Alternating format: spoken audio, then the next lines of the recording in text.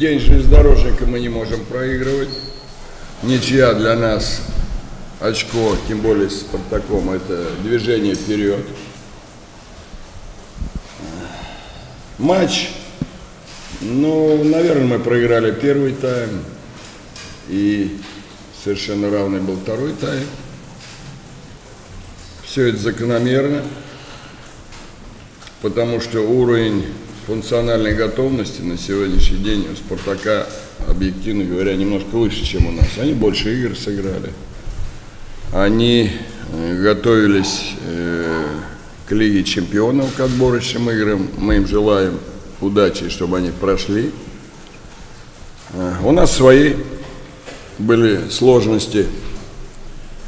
Сегодня впервые играл Краховяк, который тренировался с нами буквально пять дней, произвел хорошее впечатление. Я очень доволен игроками, они проявили характер, волевые усилия.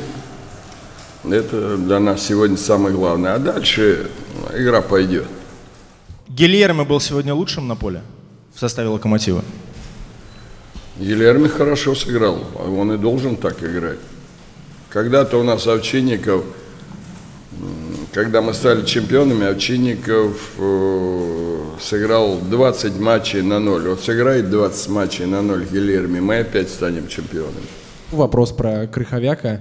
Я заметил, что в ходе матча он подсказывал таким опытным футболистам, как Денисов, подсказывал Фернандешу. А, он на тренировках э, такой же открытый парень. Можно сказать, что он уже влился в коллектив? Это нормально, когда э, в процессе игры происходит э, взаимодействие с игроками. Это нормально, то, что он даже русский язык знает. Это очень важный фактор – а, очень плохо, когда все молчат. Вот это очень плохо. А когда подсказывают, значит, человек активный на футбольном поле, он хочет лучше и так далее, и так далее. Так же, как и на это реагируют игроки. Игроки остальные тоже хорошо реагировали.